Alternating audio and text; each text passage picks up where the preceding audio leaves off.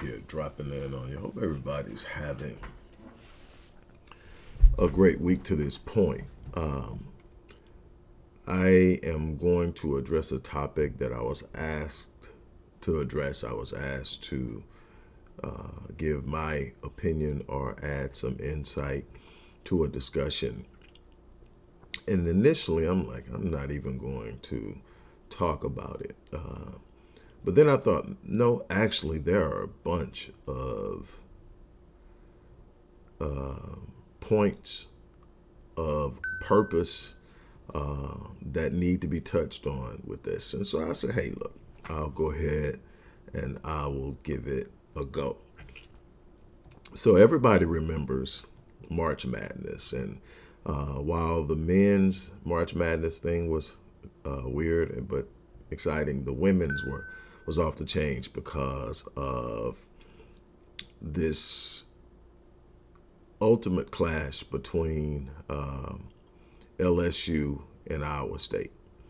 And it was because of their stars. On one side, you had uh, the, the, white girl who had been uh, tagged as the college player of the year, and I believe she deserved it. Uh, she balled out of control. Uh, no matter what you want to say and whatever. And whatever she threw out, despite white people losing their mind, whatever she threw out in the way of taunting when it came her way, she acknowledged that it's a part of the game. And she said nobody needed to be coming down on the person who was taunting her. That's, hey, that's the sport. She says, I dished it out, I can take it. So I give her that. So athletes being athletes, I'm good with that.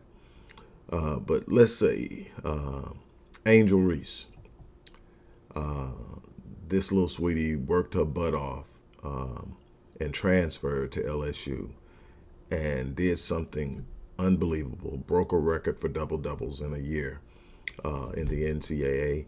Uh, balled and played her butt off to get to the championship game and was a major contributor to winning that championship. Uh, she is getting mad loot uh, through NIL deals which I think should have been in place a long time ago. Um, and there was something she said that sort of caught the eye or the ear, better yet, of a lot of black people that really jumped on her bandwagon. And that is that she is doing this for all the little black girls that look like her.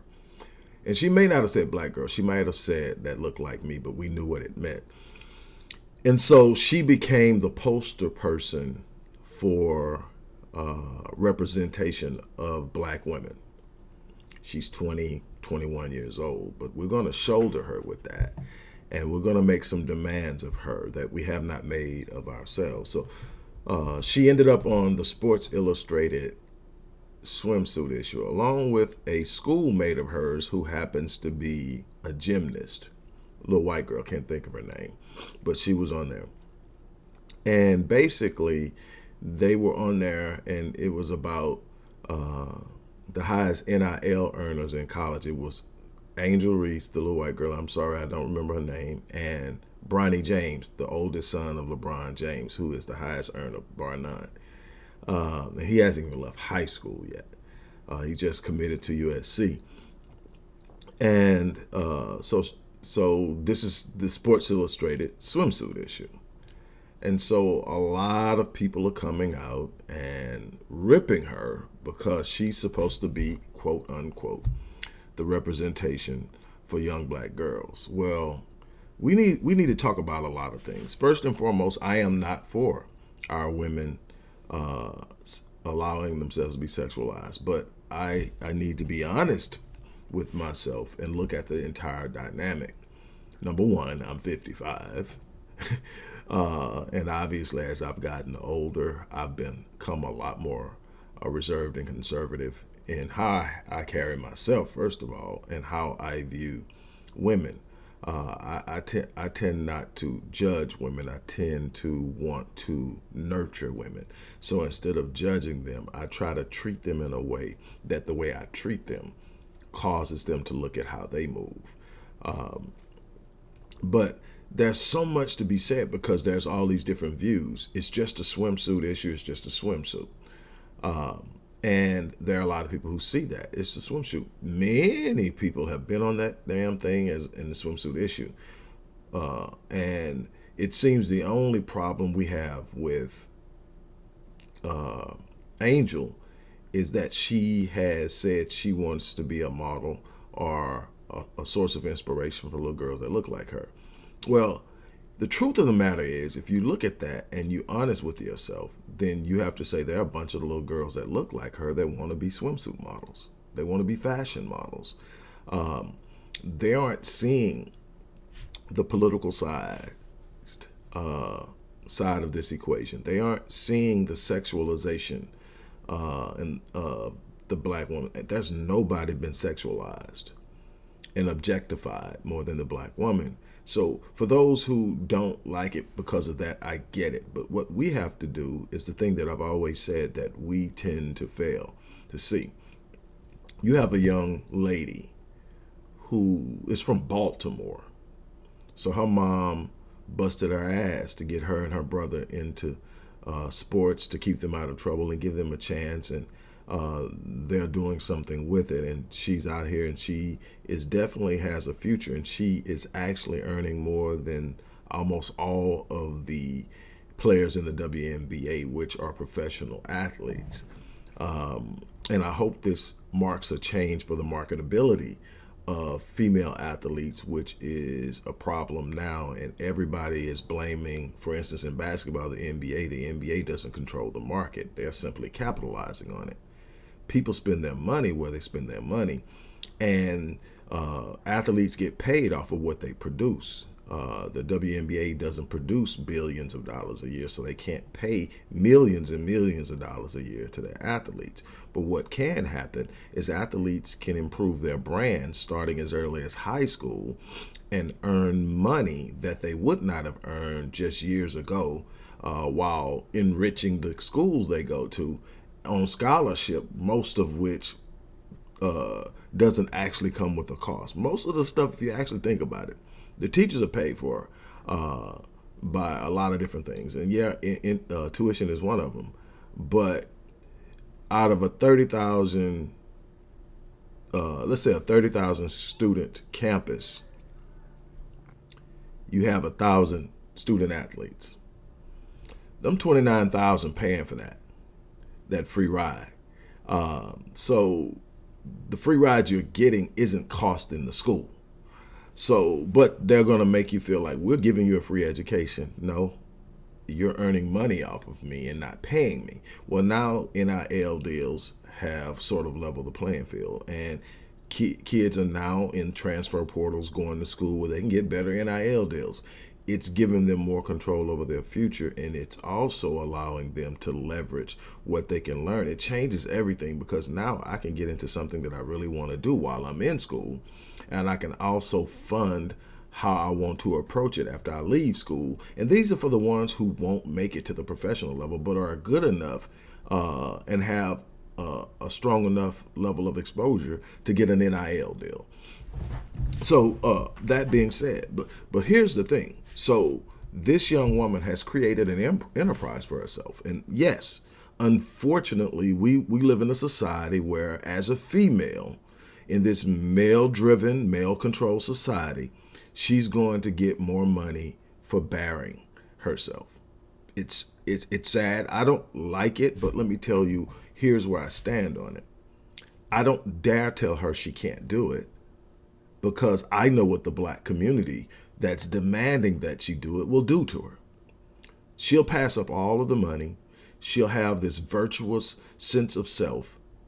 And the black community will not support her, will not get behind her. The black community doesn't have anything of its own that it owns that it can pay her what she's giving up to stand on that virtue.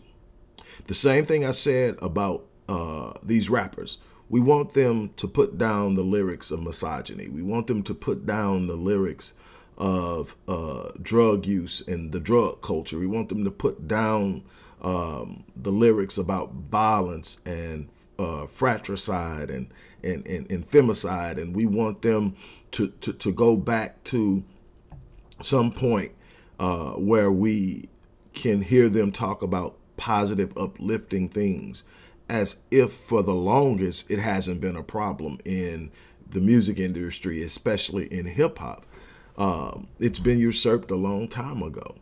Uh, it's not new. We, we, we, we've just become, as we've aged, a little more allergic to it, but we have been out of line for a while. But when you look at it and you say, okay, I don't want him talking about Molly's and Percocets. I don't want him talking about banging up some broad. I don't want him talking about this. I, I want respect. I want them to understand the power of their music. I get that and I agree 100%. There's a lot of power in the music. There's a lot of power in a unbelievable platform that Angel has for herself. But we first must remind ourselves that she's 20 to 21 years old. And she is following a trend that long precedes her.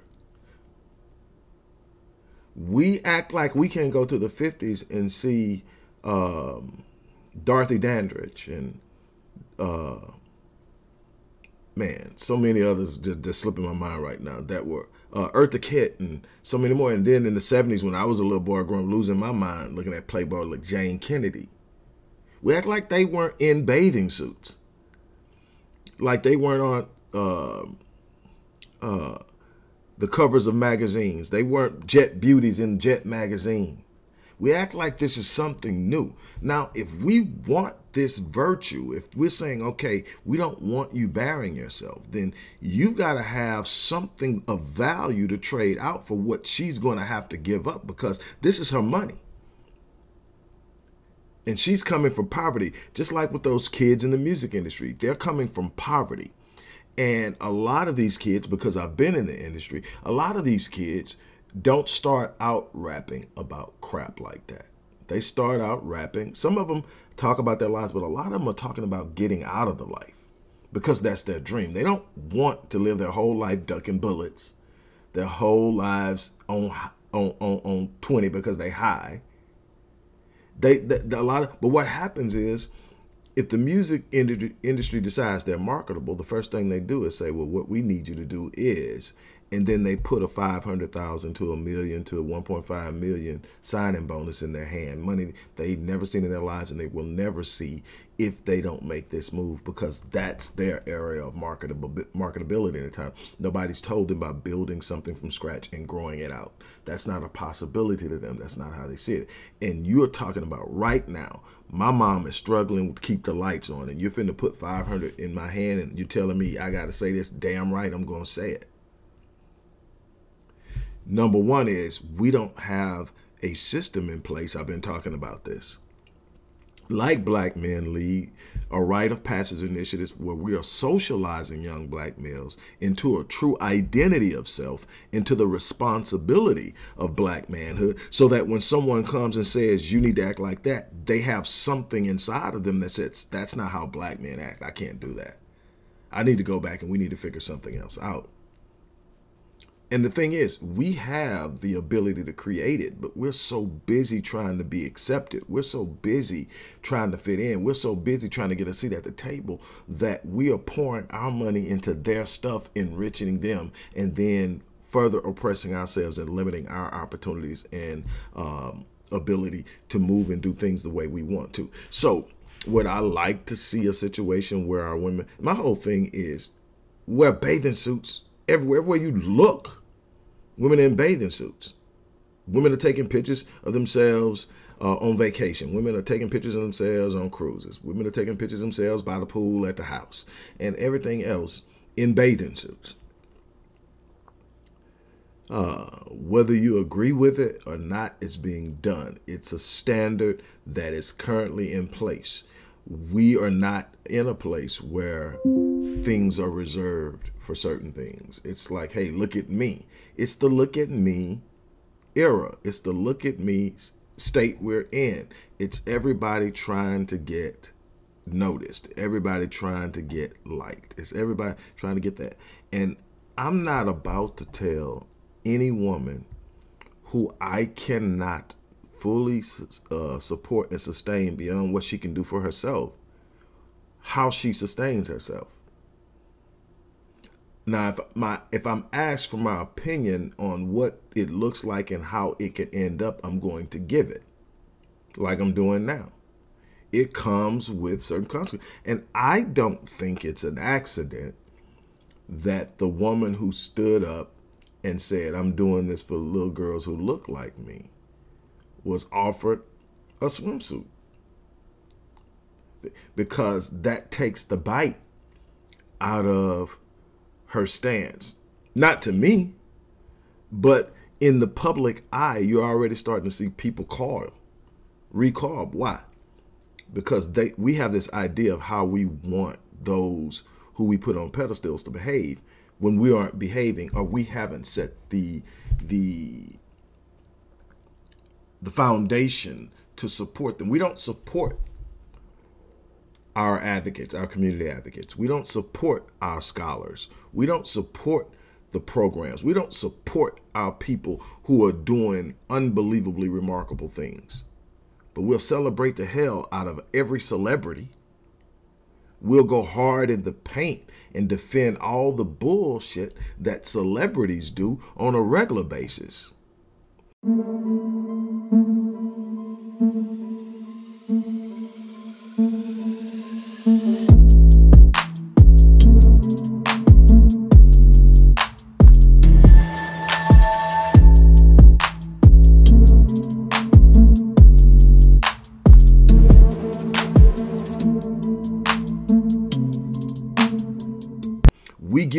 Value to their celebrity than we give to the hard work, positioning, and character and integrity of the people who are actually fighting for us to have a better uh, a better future, not just for ourselves, but for our children and their children. So when you sit up and you want her to behave a certain way, but you have nothing to offer her, you're, you're basically saying, I want you to sacrifice that meal that they paid you for that spread and wear this. I don't have anything to give you to give that up, but I'm expecting it from you because my daughters are watching you. Well, first and foremost, we should be the we should be as parents the one top preeminent uh, pre, uh, preeminent model for our children. I shouldn't be demanding anything of Denzel, anything of Will Smith, anything of um, LeBron James, anything of Michael Jordan, and uh, anybody else uh, to set the standard of manhood. That should be me. And where I'm lacking, I should be working on it. Where I see things need to change, I should be invested in it. And and and, and the same thing for our women. If we want our daughters to behave a certain way, it comes from them seeing it and then it being valued. Now, men, this is where it gets interesting. When they see their moms carrying a certain level of virtue, they also need to see men valuing the virtue because no matter how much a woman says, she ain't worried about what a man thinks she is. She's naturally built to. So as a man, a man is affirmed by the assessments of the women in his life. We can we can we can dodge it, we can talk the hard talk, but at the end of the day, the affirmations of a woman is one of the most powerful catalysts for a man. Tell him he's doing his job. Tell him you appreciate him. Tell him that that that that you are awed at his commitment and his consistency, and see what happens. We're driven by it. We'll, we look for it. We want respect. We want to be needed and appreciated. Above loved. We want to be loved, but we want those first. Men, women need to feel safe so when we start creating these safe environments for them, when we start giving them a sense that if it's a black man present, I'm safe versus my greatest threat is a black man. Now, a lot of that is narratives being pushed by the media. The average black man ain't out there beating on his woman. The average black man isn't a physical threat to his woman. The average black man, according to statistics, is the best father, statistically, better than white men, better than Latinos, better than Asians, better than Arabs. This is statistically speaking. In in measurable, in measurable traits, time spent, money spent, supportiveness, affection, black man top them all. But that's not the black man that we have portrayed. So we take the narrative that the media gives us, and that's how we view our men. Our men are out here doing our best. Now, there are some idiots, and those are the ones that are going to get the highlight. Those are the ones that's going to get the headline. Those are the ones that are going to be pushed. The one that won't take care of their kid, the one that beats on their woman, the one that cheats on that woman, the one that's constantly in and out of prison. We get a constant dose of that. They don't make up the predominance of our population as black men, but they are the predominance of the narrative. There's a reason for that, and we have to stop falling for that. So, as it pertains to young Angel Reese, there's a standard I would like to see all ladies live at. But I think that we have to create an environment that promotes it. You can't take something that's more celebrated, demand it, and then not have something that replaces it. The let me tell you something. The idea of virtue as a notion has no value. I'm just a good person, so that should be enough. Virtue doesn't pay the bills. Virtue doesn't set your family up. Virtue doesn't extend to power. Virtue is an internal thing that's a part of your own self fulfillment. But if you want somebody to exhibit virtue, it has to have value to them uh, outside of how you view them if how you view them doesn't pay them. We are going to have to get to a point where we understand how things work. I keep telling you that. We keep moving on our emotions, how it makes us feel. Um, I only saw two pictures because uh, I didn't go looking for it. It's not something I'm chasing down. Somebody sent me the two pictures uh, that were part of the Sports Illustrated shoot that they had, and I didn't see anything over revealing. She had a bikini on. Shit, you go to the beach, you're gonna see a bunch of them. And um, the fact, I think it's more. If I'm going to be honest about this, and you know me, that's my thing. I think it's more the fact that she's getting paid a bag to put the bikini on. Um, and people are wondering would she have the bikini on if it wasn't for the bag? And what does that what's that what does that constitute? She got paid to put a bikini on. Uh, she's not the first woman that got paid to put a bikini on. We live in a society that objectifies women. That's the truth.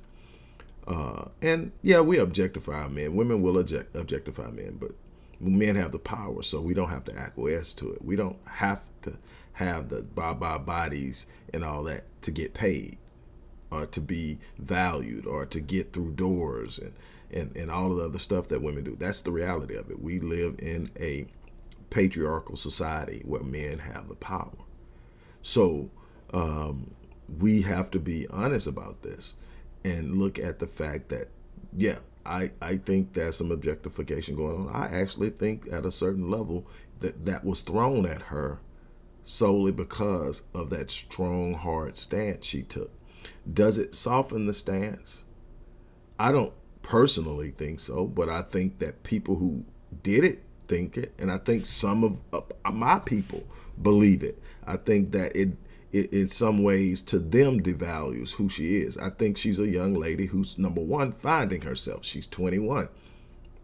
She's finding herself. She is making a strong stand on what she believes and what she feels is right. And that's going to change over time as she grows, as she matures, as she gains experience. And we'll see what it looks like five years from now, 10 years from now.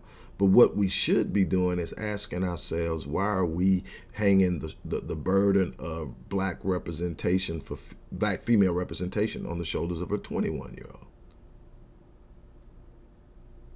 I mean, we have some people who have done some great things in their professional careers without bearing it all, at least not that I'm aware of. Angela Bassett turned down roles because of a standard she had. And, you know, so I think that we really have to ask what is the real true reason we're not happy with her in that swimsuit issue. I'm not against people having a standard, not at all. I think it's important that we do.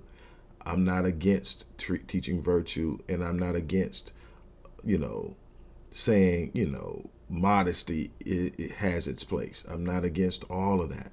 But what I'm not going to do is I'm not going to judge my little sister because she doesn't fit in some box that somebody wants her to get into and it's nothing in it but their feelings. We can't pay for what we're trying to do in this fight with feelings. And you're asking somebody to sacrifice their financial future so that you can feel better about them. But it's absolutely no value in it. So if you want to have more impact on how the people that we give so much freaking force to anyway, celebrities behave, you have to have the power within the black community to pay them to walk away from what they're getting paid by the the other side, the system, to do what they do. You know, okay, we are suffering and you, you selling out because you're gonna know they're getting money to go eat. As long as they're not coming and feeding you a bunch of bull crap from the other side to sink you, they've just decided they're not gonna struggle like you're struggling and because there's no alternative now if there's an alternative if we've got black movie theaters all over the place black movie studios like tyler perry and byron allen and whatever else is going on but more entail to where we didn't have to get green light by hollywood to do anything we wanted to. We didn't have to get green light by interscope and universal and all these other places that uh, create music and movies and everything else. And we could literally sit up and say, hey, man, whatever kind of music you want to make, we got you. And some of that music is going to be trap music. You know why? We got traps. Some of that music is going to be banging music because unfortunately we banging in places. But hopefully the bulk of that music is about elevation the bulk of that music is about empowering. The bulk of that music is about exposing the world to a part of the black community that they don't see because the people who green light all of the media doesn't want them to see it. Maybe we should be focusing on that. Maybe should we be we should be focusing on um, empowering our communities through programs that are tied, uh, are, are tried, tested, and proven uh, to produce results. Maybe we need to stop begging the other side to fix problems that we have the capacity to fix ourselves. Maybe we are focused on the wrong things and we don't seek to understand anything enough to actually do anything of significance to change it. Maybe it's about us as a whole and we're just pointing and projecting it on Angel Reese.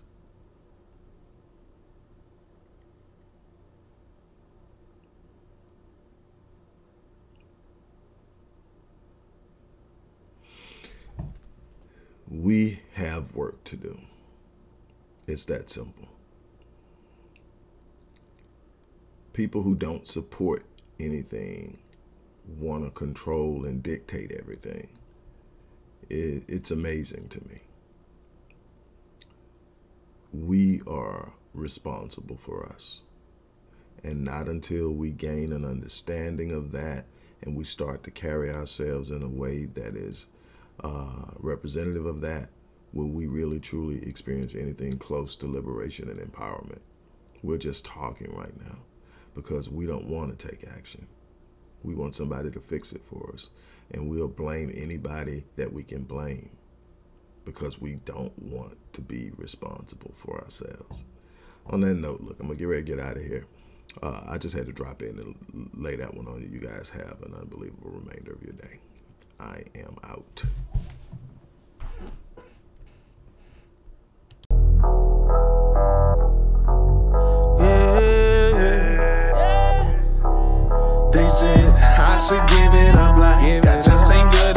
Hello, everybody. Dr. Rick Wallace here, dropping in with a little special announcement for those who have followed me for any stretch of time. You know, outside of the businesses that I run, like Myriad Business Solutions, the Visionetics Institute, Odyssey Media Group, I also do a great deal of work inside of the inner city communities uh, in Houston, Dallas, and other areas. Uh, I'm asking now as we push a fundraiser that you support what the Odyssey Project is doing in the inner cities, uh, especially with programs like Black Men Lead, which is a rite of passage uh, initiative, and Restoring Ghetto for, Ghetto's Forgotten Daughters, which is a program focused on helping young girls, but boys as well, suffering from childhood sexual abuse, uh, rape, molestation, domestic abuse, uh, absentee fatherhood, and so many other things. Uh, the information will be in the box. Thank you.